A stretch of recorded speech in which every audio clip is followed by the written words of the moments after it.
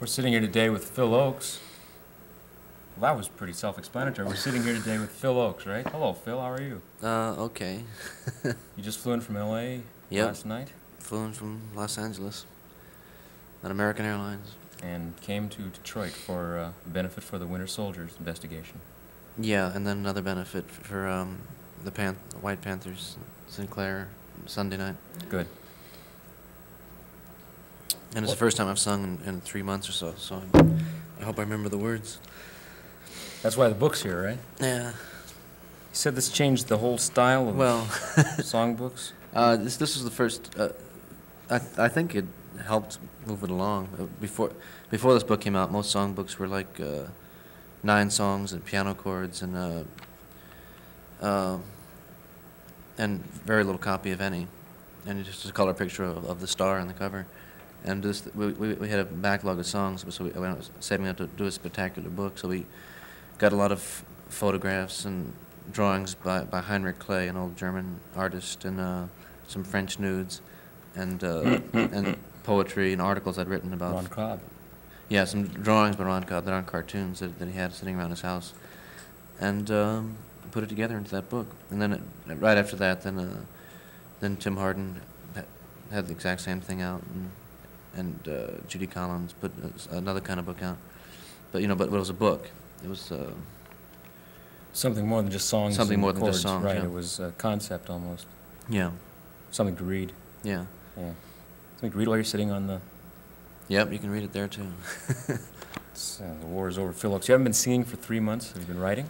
I've been trying to write. I haven't succeeded. I'm in a dry spell. I'm, so I'm just waiting until my new songs come out. Do they just pop out? Yeah, they usually come out of my subconscious, and I'm, just, I'm walking down the street or having a conversation, and suddenly they come out. And uh, but lately they haven't. Huh. So- Los Angeles or is it? Uh, It could be Los Angeles. It's possible. I've, I've, I wrote my I wrote the, the greatest hits album and the rehearsals for retirement. Uh, I wrote uh, in Los Angeles uh, with the same kind of pattern, except it didn't take so long. It, which was like a, a, a long, dry spell, and suddenly in a two-week period, a whole bunch of songs came out together, and and uh, that happened twice, and it didn't happen this time. So I, I bought myself a new piano, and I'm hoping the new piano will, will produce something. It's been a while since we've had anything from you in the way of a record. You Yeah, it's been a year. You cut a record. They never released. Oh yeah, and I had one record that I, I made a rock and roll record uh, uh, of a, a Carnegie Hall concert I gave where I was really drunk and crazy, and I sang Elvis Presley and Buddy Holly, and uh, Merle Haggard, and uh, some of my own songs, jazzed up and wore a gold lame suit. Some pictures I've seen. Yeah, The Golden Mace. and uh, the fans were upset, and then then the company A and M became upset because the fans were upset, and they're worried that my career was ruined, which is probably true, and um, so then so I, I- I put the get this record together. It's called Gunfight at Carnegie Hall, and uh, and they just they just refused to release it, so it's just sitting in the cans in L.A. and and which left me stuck without any, new songs. So I'm, I'm overcoming that dilemma now. I hope. You've been watching movies lately. Yeah, I'm spending more and more time at the movies, just uh, escaping. And You think movies? A lot of the things you have written, I think, would be. Uh, you have the imagery there for the uh, picture. It's just that you've been always doing it in poetry and songs. yeah, I've always I've always been mostly interested in movies, and uh, I've usually gone about four times a week all my life, uh, mostly. And some some of the songs, uh, as a matter of fact, come directly from movies. Like there was a 1941 John Ford John Wayne movie called The Long Voyage Home, based on Eugene O'Neill's plays, Mhm. and that was the basis for Pleasures of the Harbor. That was The it. song, I've yeah. seen that where John Wayne plays the Scandinavian. Right. And you know, and then the, the whole thing about Only time he's ever acted in his life. he was really good in that movie. Yeah. No, he, he- I, I like. I'm a big John Wayne fan, um, from like about 1940 to 1952, with uh, Stagecoach and Red River It was a fantastic movie, Uh-huh. and and Long Voyage Home and The Quiet Man, and uh, the the trilogy of the Cavalry was good. She wore a yellow ribbon in those. Sands of Iwo Jima. he was he was good. I mean, it's, John, John Wayne, you know, fulfills the. Uh, he did fulfill the, the mythic role of, of, of the of the American He-Man hero empire builder. I mean, it was it was it it he had, it, it didn't uh, they didn't uh, the, the ideology was very subtle. But but if if you're uh, you know, movies are, an- are an art form, and, and, and it- films, uh, uh, there's a certain style of American films which I think are, are valid. You know, the, the, the, the myth-building film is, is a, I mean, even just, even like in the next century, you can go back and, and say, well, we'll now show a propaganda movie from, from America in the, in the, in the, in the 40s. And so, so, so, so, so I mean, for example, if, if you're a capitalist nation at war with the, with the fascist nation, you know, and, uh, and, and, and you want to make films that, where you're going to portray the, the, the, the, the essence of the soldier, I mean, you, it's, it's got to be a guy that can fight, that is tough enough, that, that looks good, and, and has the kind of personality that, that fits with the, with the uniform, and so forth. And in that context, I mean, suppose, even, suppose it was a communist country making a, a war film, you know, uh, of how they defended their homeland from the fascist invaders. They'd still, you'd still want to look for a, a John Wayne type, you know, uh, the, uh, the actor who can play the warrior, in, so, in so many words, you know. Will the revolutionaries ever have a character like that? Yeah, well, the, I think the one come out, trash man, you know? Well, the, I think the revolutionaries, um, uh, well, you know, that, that they have to develop in, into, into a, when, when and if there is a revolution, it, it's going to come. Well, I mean, they, they, they have him uh, in, in a sense, like with Che Guevara, he fulfills that role. Um, But not in a fantasy level. Not on a fantasy level, but but uh, Am- Am- America has yet to produce uh, a a Guevara really. And Malcolm X, uh, once again on a real level, did it. On, on a mythic level, you know, Dylan was a sort of was was an intellectual revolutionary at the beginning, and so he, he fulfilled it, also visually.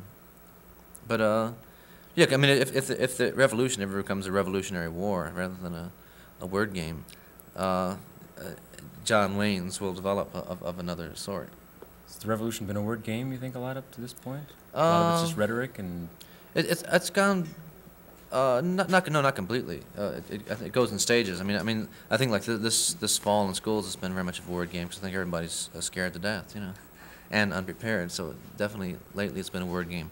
But but but all, on this on the other hand, it's uh, uh, great things have been accomplished. I mean I, th- I think it's fairly safe to say in retrospect that the large uh, demonstrations uh, did in fact help uh, slow down the course of the war uh, and, and, and, and force the government to, to, to move ever so slowly toward a, a possible withdrawal stage.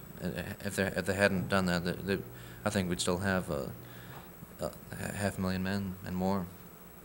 Cambodia, and probably in Thailand by yeah, now. but, it would have been really, you know, it would have kept up and up and up. Neil Young, two years ago on his birthday, said that you were the inspiration. His artistic inspiration was Phil Ochs. Yeah, he told me that when, he, when I first went to California. It surprised me. He played me a couple of songs on the Springfield record, and so that I got that from, from some song of mine. I forgot what song it was. It was nice. it's nice to hear those things. Yeah, I was wondering if you, uh, what you thought of Neil Young. I like him. He's great. He's the best. I, no, I do, I do like I do like I do like Neil Young better than uh, Crosby, Stills, Nash and Young. Mhm. I like I mean I, I, on the basis of his new record. The, the, the one song's really nice. I, what's it called about love? Uh, Only Love Can Break Only Love Heart. Can Break Heart. I think it was a classic song. He's really come into his own there, and uh, I like him a lot. Do you have anything to do much anymore with Rubin and Hoffman? Yeah, I, I see him. I, I, I, I spent a month in Europe with uh, with Rubin, Jerry Rubin, just uh, this November. Went to uh, France and, and Amsterdam and England and, and Ireland with him. Had a great time. Ireland. Yeah, uh, J- Jerry Rubin's one of, one of the world's uh, great tour guides of Europe. It's one of his secret talents that, that hasn't come out, in the, and even in the underground media. After, after the revolution, that's what he should do. I think is Lead tours. lead tours. Yeah, Great. Un- underground political tours of Europe. With Jerry uh, Rubin Yeah, taking you through the, uh, Ireland would be far out. yeah. He was. We were both deported from Ireland at different You were times. both deported. He was from deported from Belfast, and I was deported from Dublin. Uh, I went, went and tell. I'm, every time I go on television, something weird happens, because and uh, putting yourself in the public view is a dangerous profession. And uh, know, uh, uh, they threw out Rubin and, and Stu Albert.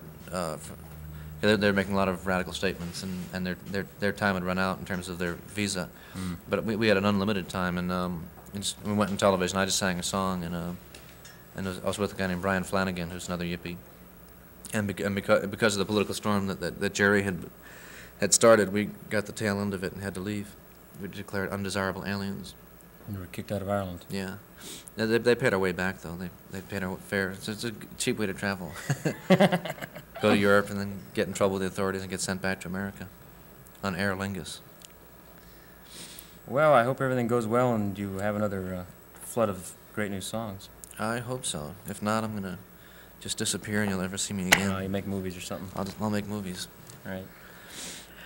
Phil Ochs and Tim Powell and um, thank you. We're Good luck. Good luck. uh, Good luck here in Detroit, Motor City, USA, home of the honk. home of riots, ho- honk, and